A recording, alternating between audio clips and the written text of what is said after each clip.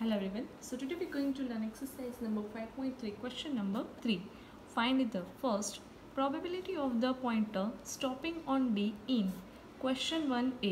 Now question 1A में हमें ऐसा एक फिगर दिया हुआ था इसकी हमें probability फाइंड करनी है so first of all probability की फॉर्मूला क्या है C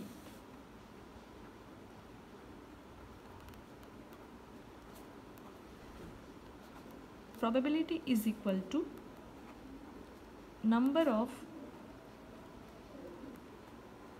favorable outcomes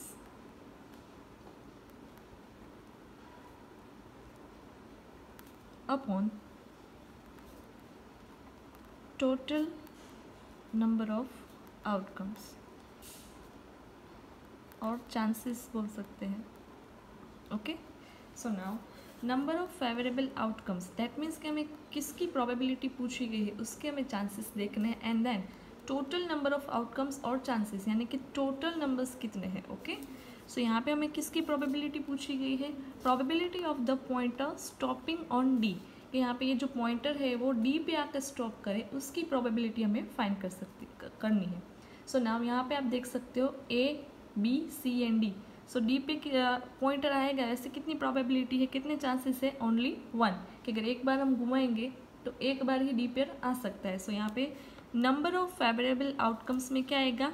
one upon में टोटल नंबर ऑफ़ आउटकम्स और चांसेस सो टोटल नंबर्स कितने हैं? कितने में से वन टाइम आ सकता है? So one two three four and five so upon में आएगा फाइव ओके सो हमें प्रोबेबिलिटी मिल गई है। Probability of point pointer stopping on D that is one upon five probability of getting ace from a well shuffle deck of fifty two playing cards हमें ace की probability find करनी है fifty two playing cards में से।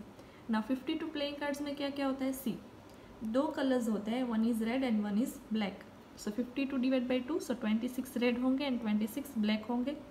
Then red में भी two categories है। Heart and diamond so twenty six में से थर्टीन हार्ट के होंगे एंड थर्टीन डायमंड के होंगे. एंड ब्लैक में भी टू कैटेगरीज है.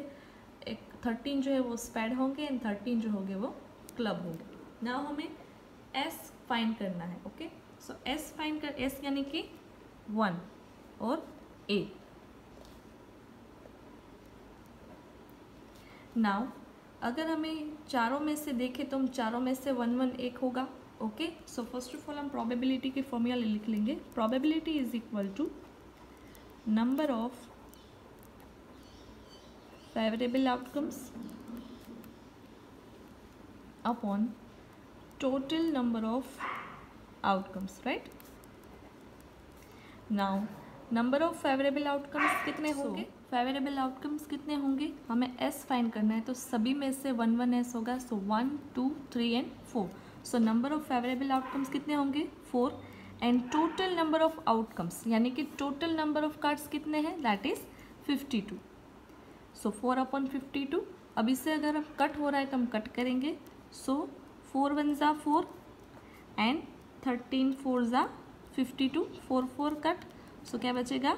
One upon thirteen okay so so of getting getting an from a well well shuffled deck of 52 playing cards are that is 1 upon 30 now c probability of getting a red apple. और यहाँ पे आपको एक figure दिया है you can see जी यानी कि green Apple and R यानी कि red apple so green red red red green red and green ना हमें जो एप्पल की प्रोबेबिलिटी फाइंड करनी है वो कौन सा एप्पल होना चाहिए? रेड एप्पल सो यहाँ पे हमने फॉर्मूला पहले से लिखा है।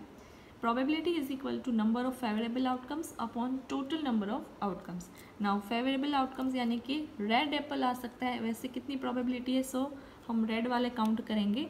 One two three and four so red apples आए, उसकी प्रॉबेबिलिटी कितनी है? Four out of how many apple ज़्यादा that one two three four five six and seven so upon में आएगा seven so four upon seven is the answer that is probability of getting a red apple.